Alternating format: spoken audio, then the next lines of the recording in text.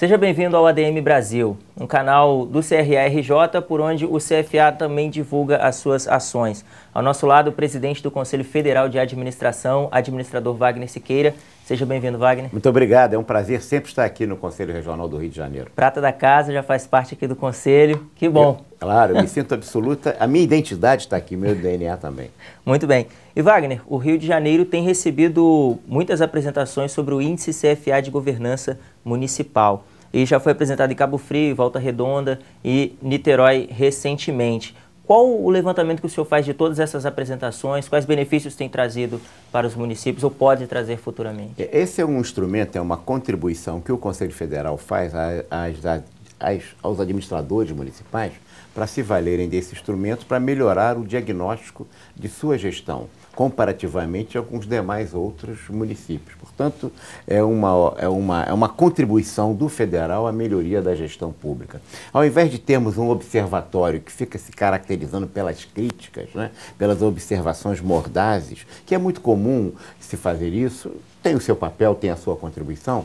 O caminho do Conselho Federal, pelo seu observatório, vamos dizer assim, de políticas públicas e de políticas em geral, é no sentido de oferecer contribuições aos protagonistas, no caso os prefeitos municipais, para que eles se valham desse instrumento para melhorarem a sua gestão.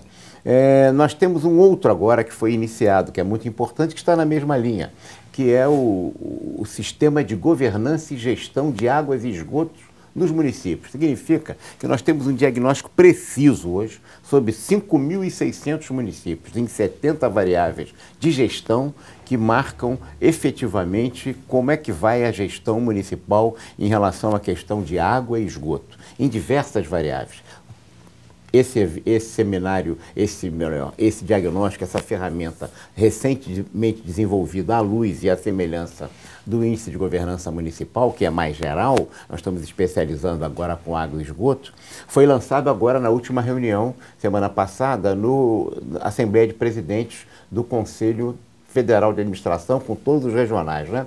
Mas nós já tivemos uma reunião com a Superintendência de Sudeco, com a presidência e com os diretores da Sudeco. Estamos tendo no dia 29 uma reunião com a, com a 72ª reunião de, de Recife, dos prefeitos de todo o Brasil, onde vai ser apresentado também não só o índice de governança municipal, mas também esse agora de governança e gestão de águas e esgotos. Portanto, estamos caminhando na direção de oferecer uma contribuição que facilite ao administrador municipal aprimorar o seu diagnóstico comparativamente aos demais das suas práticas políticas, enfim, o que, que dá certo no lugar, por que, que o meu município está dando errado. Ô Wagner, a gente percebe um esforço do CFA em fornecer conhecimento para os administradores, para a gestão pública.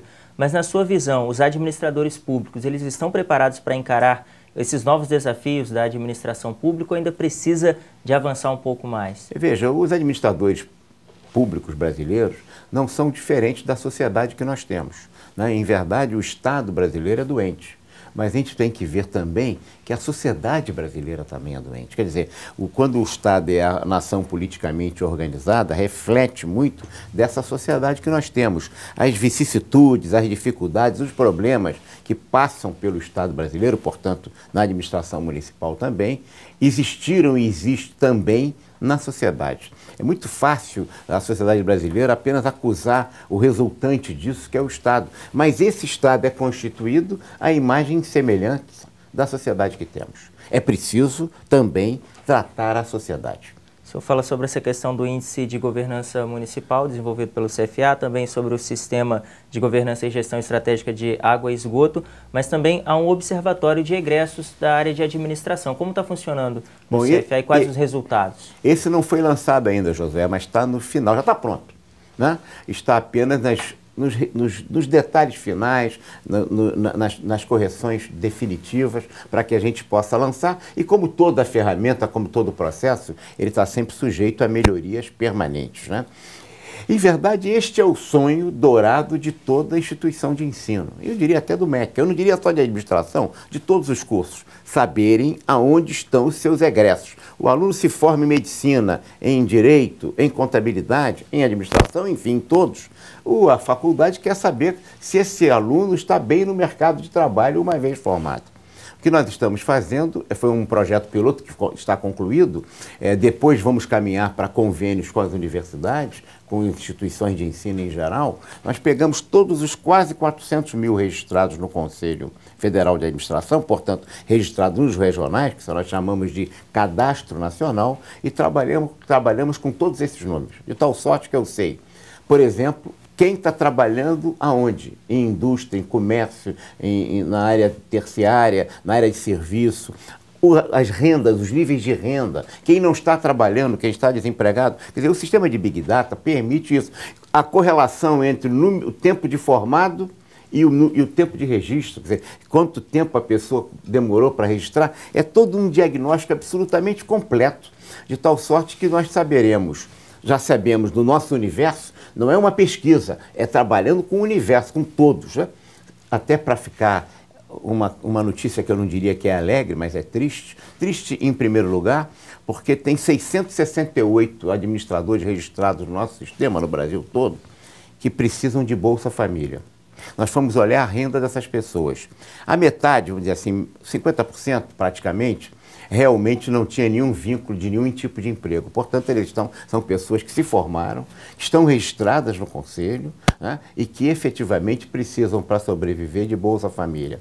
Mas tem uma outra metade, Josué, que é muito grave são 300 e poucos colegas que estão registrados no Bolsa Família. Alguns ganham 7, 8, 9, 10, 14 mil reais por mês.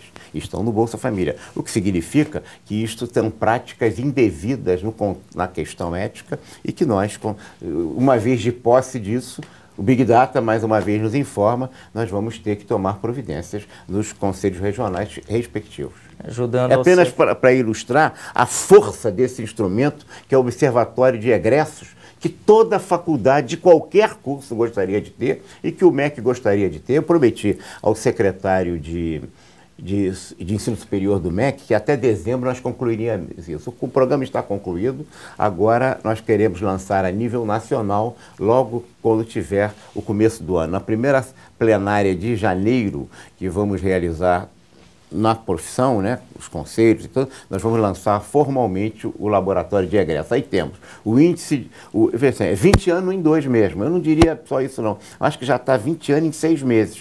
Porque, olha, agora 10 meses. Porque a gente já fez o índice de governança municipal, que era um modelo antigo, que foi inaugurado em dezembro de 16 e que nós demos uma outra versão, está tá se aplicando uma nova versão do índice. Tem o índice de governança e gestão de águas e esgoto dos 5.600 municípios. E agora o laboratório de egressos que dirá cada administrador, aonde ele trabalha, que renda que tem, como é que ele funciona, as áreas, enfim, todo o perfil profissional desse administrador, o que é uma satisfação muito grande para as faculdades quando eles estão vinculados, para saberem como é que estão esses colegas. E, infelizmente, muitos que também estão desempregados. O senhor fala sobre 20 anos em dois, mas há quem discorde, porque a, a, a expectativa, na verdade, a constatação é de que avançou-se 27 anos em um dia, segundo o administrador Hélio Tito, que é presidente do CRA do Mato Grosso. Que ele relata que, pelo Sistema Integrado de Fiscalização e Autoatendimento, dentro de um dia foram, feitos mais, foram feitas mais ações de fiscalização do que dentro de 27 anos. E eu queria que o senhor falasse sobre esse sistema. É, essa experiência, que é uma, que em verdade é a transferência da experiência de auto, sistema de autoatendimento e fiscalização feita aqui no Rio de Janeiro, né?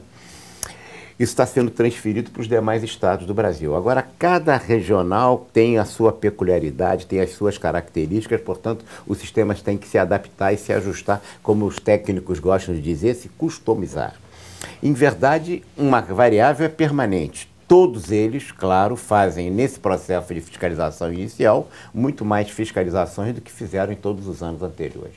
Foi aqui também no Rio de Janeiro, como foi, por exemplo, no Cabo do Paraná. O Hélio teve um, um grupo grande, eu acho que 9 mil empresas foram fiscalizadas lá ao mesmo tempo.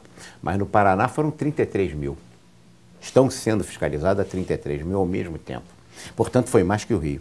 E o Rio foram 21 mil, quando nós começamos. Veja que o Paraná foram 12 mil empresas fiscalizadas ao mesmo tempo, mais do que no Rio de Janeiro, quando nós implantamos o sistema aqui em 2014. O Wagner, agora mais do que uma mudança tecnológica, um avanço tecnológico, o senhor bate muito na tecla da mudança de mentalidade também. É, né? é verdade. O, o, problema da mudança, ela depende de duas variáveis fundamentais, estrutura e comportamento. Estrutura, os estruturalistas dizem o sistema não muda porque não sabe como mudar ou porque não tem as ferramentas. Então, se você der as ferramentas, der as estruturas, der os sistemas, vai tudo funcionar. Não é verdade. O sistema não muda, dizerão os vivencialistas, né? os comportamentalistas, porque o sistema não quer mudar, é falta de vontade. Mas, em verdade, o sistema não muda, ora por, tanto porque não tem estrutura, como também não tem comportamento, não tem atitude. Se essas duas variáveis não se conjugarem efetivamente, o sistema não muda, porque o comportamento atrapalha a estrutura e a estrutura atrapalha o comportamento. Portanto, há que se intervir não só na tecnologia, que por si só não faz nada, mas também no que é pior, na mentalidade, na atitude mental, nos comportamentos, nos conceitos, na teoria, porque nada mais prático do que uma boa teoria aplicada a essa realidade. Agora... As organizações, as organizações falam muito de tecnologia e se vangloriam muito disso. Mas no relacionamento entre as pessoas, muitas vezes as tratam como se fosse a mentalidade do carro de boi.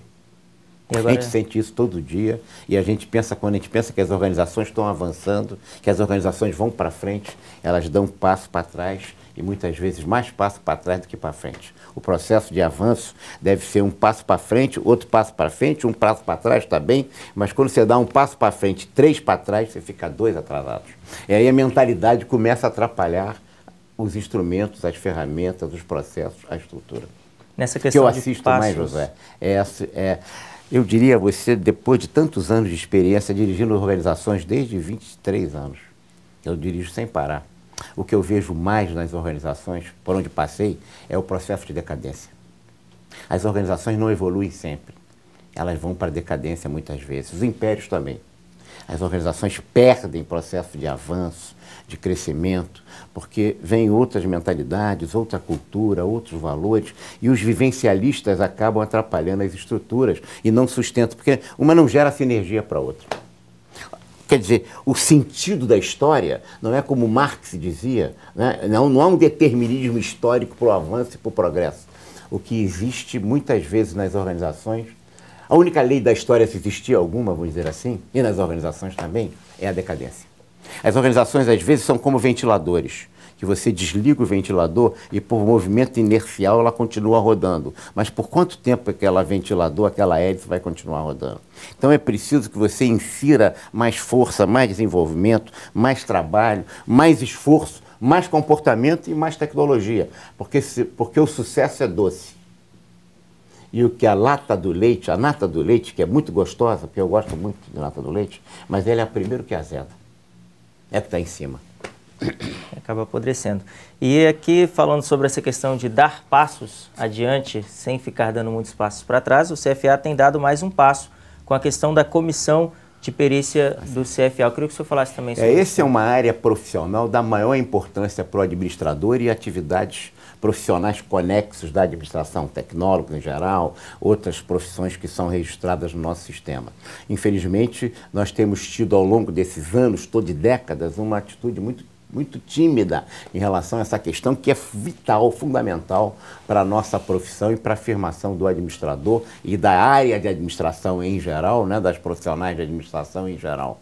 Nós estamos participando no CONAP, agora que está sendo realizado hoje, inclusive, eh, hoje é dia 27, 28 e 29, lá em Goiânia, e nós estamos com um belo estande lá e, surpreendentemente, para muitos, com dois conferencistas da nossa comissão. Nós temos uma comissão no Conselho Federal em que não é constituída de conselheiros, é constituída de especialistas de 12 estados e 12 regionais que constituem a Comissão de Perícia eh, e Administração Judicial. E já concluíram o primeiro documento que eles fizeram, foi o novo Manual de Perícia, tá certo? Do, da administração, já está pronto, já sendo distribuído lá. Então, uma série de, de ações técnicas, como esse do Manual de Perícia, de participação no no CONAP, quando temos dois conferencistas, membros de nossa comissão, pela primeira vez na história da profissão, como palestrantes, um belo stand lá, uma bela participação, e, e, e os colegas, dois estão lá representando, portanto, a administração. Vamos trabalhar muito para que essa área, ao fim desse próximo ano, ele possa estar muito mais avançado do que sempre esteve. Isso não pode ficar só na mão de economista, de advogado e de contador, mas é sem tirá-los, porque eles também têm o seu espaço e sua, e sua importância nesse, nessa, nessa área, como tem na área de engenharia, como tem na área de medicina, porque a perícia abarca todo o universo da atividade profissional, dependendo da área de perícia, mas o administrador tem um papel fundamental nisso. Temos muitos colegas que vivem disso, que atuam bem nisso, mas esse mercado é muito mais louvável para a nossa profissão se nós tivermos uma afirmação mais de ação política, de relações públicas, de relações institucionais junto aos órgãos judiciais e também junto à afirmação da própria profissão, mobilizando a profissão para exercer esse mistério tão importante na área profissional. Nós estamos chegando ao final do nosso ADM Brasil, mas antes eu queria que o senhor falasse sobre a assinatura do convênio entre o CFA e a FGV pela questão da certificação profissional em administração. É, a gente tem. Essa é um outro avanço importantíssimo que nós estamos fazendo, que é uma parceria com a Fundação Getúlio Vargas. É preciso que se compreenda que a Fundação Getúlio Vargas tem no DNA a própria profissão. A Fundação Getúlio Vargas é em verdade, produto do DASP, onde nasceu a nossa profissão, Departamento Administrativo do Serviço Público, que criou a Fundação Getúlio Vargas. Toda a linha de pensamento no Brasil uh, primitiva na administração e afirmativa hoje no, na sociedade brasileira é o prestígio da fundação, a importância como centro de pesquisa e acadêmico. Ao associarmos o nosso interesse, nós estamos vinculando a fundação, que não é apenas uma academia, mas é uma instituição de ensino e de pesquisa fundamentalmente comprometida com o mercado. Ela não é só acadêmica, ela é também acadêmica, mas ela é uma instituição voltada para o mercado. E o que nos interessa é uma certificação profissional muito orientada para o mercado, para que isso dê mais prestígio, mais reconhecimento, agregue valor ao profissional que fizer inicialmente em cinco áreas, né, administração da produção, marketing, recursos humanos, logística e financeira. É, depois dessas cinco virão outras áreas é, que agregue ao profissional um símbolo distintivo de ter a certificação profissional do Conselho Federal de Administração em parceria com a Fundação, que é a instituição de pesquisa e acadêmica que faz as provas e realiza as provas, e eu, mas o símbolo distintivo é do Conselho Federal de Administração. E agora, para encerrar mesmo essa, essa, entrevista, eu queria que o senhor Wagner Siqueira explicasse para o administrador, o profissional de administração, a importância de ter essa certificação profissional. Veja, a certificação profissional em todo o mundo, não é apenas no Brasil, em algumas áreas, acho que a área médica ela é uma área muito desenvolvida na questão da certificação, mas em todo o mundo é a marca que distingue os profissionais competentes. Então, independente da escola que você vê, escola de alto prestígio ou escola de menor prestígio, quando você tem uma certificação que é reconhecida pelo mercado, isso é um símbolo fundamental de diferenciação desse profissional. O que nós estamos oferecendo aos colegas, independentemente é, de sua origem profissional, é a oportunidade dele disputar de igual para igual, porque vai agregar valor ao seu diploma profissional, ao seu registro profissional, a certificação profissional nas áreas. Essas áreas e essa certificação vale por quatro anos. Depois de quatro anos, ele poderá fazer outras certificações. De tal sorte que, na sociedade do conhecimento, na era do conhecimento, o profissional está sempre se certificando, atualizando seus conhecimentos, se desenvolvendo e tendo esse distintivo fundamental do do, do, da, competição, da competição diferenciada que esse colega poderá ter por ter esse, essa certificação em relação aos demais no reconhecimento do mercado. Daí porque a Fundação Getúlio Vargas e o Conselho Federal se associaram. Wagner, muito obrigado pela entrevista. E você que nos acompanha, muito obrigado pela audiência. São muitos temas a serem trabalhados, mas a gente se encontra no próximo ADM Brasil. Fique bem e até lá. Thank you.